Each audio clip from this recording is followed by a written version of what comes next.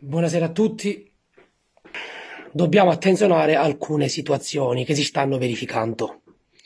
Moltissimi di voi hanno fatto dei cartelloni scrivendo andrà tutto bene. Moltissimi lo scrivono su Facebook, nei messaggi. Ma io vorrei capire come andrà tutto bene. Come andrà tutto bene se continuiamo ogni giorno ad uscire per fare la spesa? Quanto la spesa si dovrebbe fare una volta ogni dieci giorni.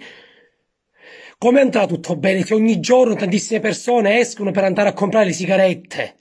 Al posto di prendersi, dato che hanno il vizio del fumo, va bene, non entro in merito, ne prendono parecchie, se li mettono a casa, non invece escono per andare a prendere le sigarette ogni giorno.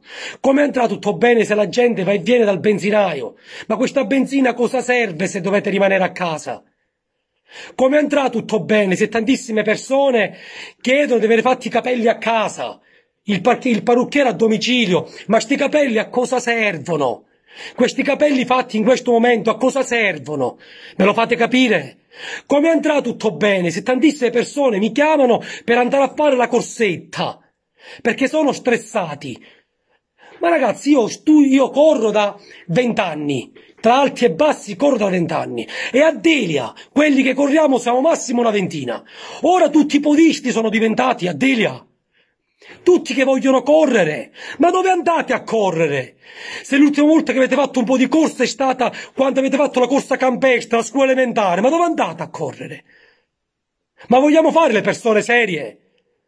Mi chiamano sindaco, io devo andare a Canicattì a fare eh, la spesa. A Canicattì non ci puoi andare a fare la spesa. La spesa la fai a Delia. Salvo che ti serve qualcosa di importante che a Delia non hanno. Un farmaco salvavita, una, un alimento per un'intolleranza. Dove vai?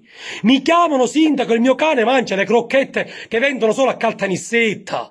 Ma questa la chiamiamo serietà. Ma questa la chiamiamo serietà. Lo chiamiamo buonsenso.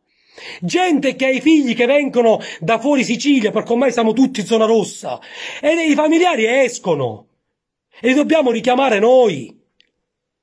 Oggi di domenica, tantissime persone in campagna a rostere carne, a fare barbecue, ma stiamo scherzando? Ma stiamo giocando con la pelle nostra e di tutta la cittadinanza. Facevano delle feste in un condominio. Ci sono andato io solo oggi, di domenica. E siamo sindaco, siamo tutti quelli del condominio, ma il contagio lì è. Stare a casa significa stare solo con la propria famiglia. Non con i vicini di casa. Che poi voglio vedere questi vicini di casa che confidenza avete. Tutte ore sti buon vicinato c'è a Delia. Tutti sti buon rapporti vicinato ci sono a Delia. Gente che per fare il cartellone, il cart- andrà tutto bene. A casa 20 persone per fare sto perché il cartellone deve essere bello. E chiamiamo cugini, parenti per fare un cartellone. Quello è contagio. Quello è rischio contagio, lo capito o no? Stare a casa non significa fare venire persone per fare cugineggi a 20 a 30. Ma di che stiamo parlando?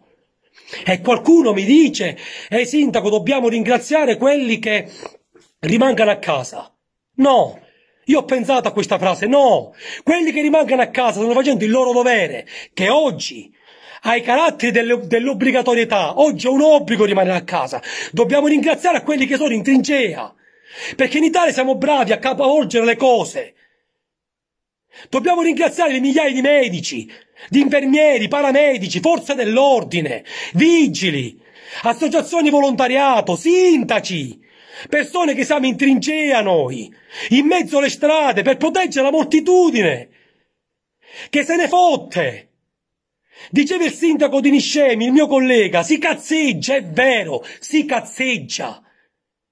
Siamo stressati a stare a casa, stiamo stressati con il telefono, la connessione internet, la televisione, il mangiare, la PlayStation, siamo stressati. Stressati i nostri nonni che andavano in guerra, non quelli che si rimangono a casa.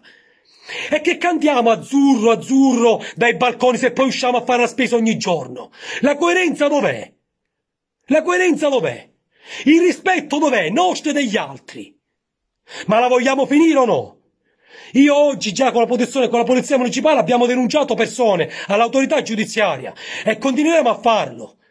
Io oggi di domenica sono uscito per andare a redarguire persone, persone grandi e vaccinate, però sono le persone che da stanotte mi mandano i messaggi. Sintomo, ma chi è questa signora? Ma come dobbiamo fare? Però poi usciamo, perché il problema è sempre degli altri. Il problema è sempre lontano da noi. Però giochiamo col sederino di tutti e con la responsabilità mia, dei carabinieri, dei medici, di quelli che siamo in strada per voi. La reputate correttezza questa, signori, scusatemi. La reputate correttezza non è correttezza. È egoismo, cretinaggine, stupidità, superficialità. E qualcuno mi dice, eh però sindaco non dobbiamo allarmare. Come non dobbiamo allarmare? Come non dobbiamo allarmare? Una pandemia c'è! Non è più un'epidemia, una pandemia e non dobbiamo allarmare! Quando si deve allarmare la gente? Se non si allarma per una pandemia, scusatemi, quando si deve allarmare la gente? Vogliamo fare i seri o no? Vogliamo fare le persone diligenti o no? Le cugiregge a casa, tutti campastano cugiregge con gli amici. Cioè, ma, ma veramente qualcuno ce l'ha in testa il neurone? Ce l'ha qualche neurone o sono tutti spenti sti neuroni?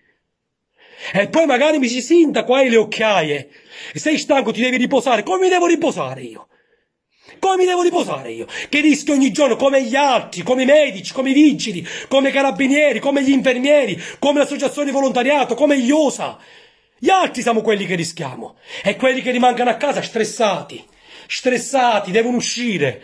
La corsetta la passeggiata ca del cane. Vengono persone davanti a casa mia che stanno in tutt'altro punto del paese. Ma sto cane quante volte la va a fare la Pepe? Il cane deve uscire ne nella zona limitrofa a casa vostra e ritornate a casa, non una passeggiata. Le persone col passeggino vado da mia sorella. Ma dove vai da tua sorella? A casa chiede. Lo capisci o no?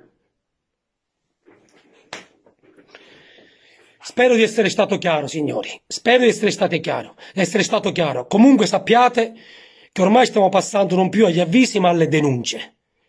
Perché è giusto che chi sbaglia paghi. È giusto che chi sbaglia deve essere sanzionato e denunciato. Perché qualcuno evidentemente non riesce a collegare ancora il cervello. E non è perché è lento, come ho detto nello scorso post.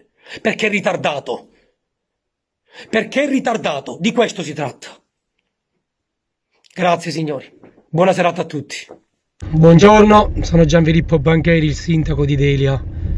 Questo è il paese eh, stamattina, completamente deserto. Invio questo messaggio per eh, fare presente, mettere a conoscenza ciò che è successo dopo il video ormai diventato virale sul monito da me lanciato ai miei concittadini. Devo dire che mm, è servito, è servito non solo al mio paese, ma a un territorio molto più vasto, dato che mm, questo video è diventato virale, fortunatamente. E, mm, e la gente ha capito che deve cambiare gli stili di vita. Per, per in, questo momento, in questo momento deve cambiare gli stili di vita per eh, fare in modo di evitare il contagio. Sembrerebbe, da quello che vedo e da quello che sento da altri colleghi, che ci sia un atteggiamento un po' meno superficiale sull'argomento e un po' più senso di responsabilità, che era quello che chiediamo noi in qualità di sindaci e di responsabile delle igiene e sicurezza sul suolo pubblico, anche a salvaguardia di tutti quelli che sono in prima, in prima linea, in primis medici, infermieri, eh, paramedici, forze dell'ordine, volontariato e tutto il resto. Quindi io mm, sono uh, soddisfatto del risultato, ma non molliamo, siamo su, stiamo sul pezzo, non abbassiamo la tensione perché si aspetta il picco tra non molto e dobbiamo quindi mantenerci tutti, eh, come dire, sul chi va là, stare attenti perché ne dobbiamo uscire tutti, ma ne dobbiamo uscire bene come dicevo, con, eh, sen- con etica della responsabilità e soprattutto sapendo che un nostro atteggiamento corretto agevola la moltitudine, agevola gli altri. Grazie.